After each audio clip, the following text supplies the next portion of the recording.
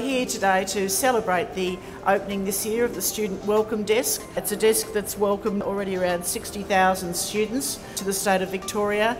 Obviously, when we're welcoming international students, we want to make sure they have the best possible first impression and are able to acquire a lot of information very, very quickly. We did some research in 2008 2009 where we talked to our international students.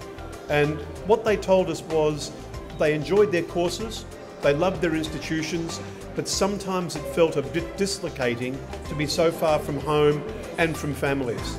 The human contact of having that blue t shirt come up to you and actually say, Welcome. Welcome to Australia. Welcome to Melbourne.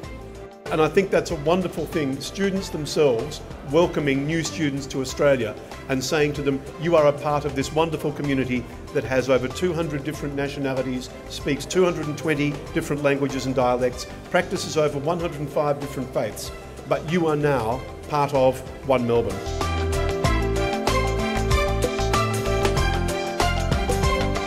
Everyone who has travelled to a new country knows the value in local tips. So we wish the team here all the best, we wish them well, and as Victoria's Aviation Gateway, we look forward to welcoming many, many more international students in the many years to come.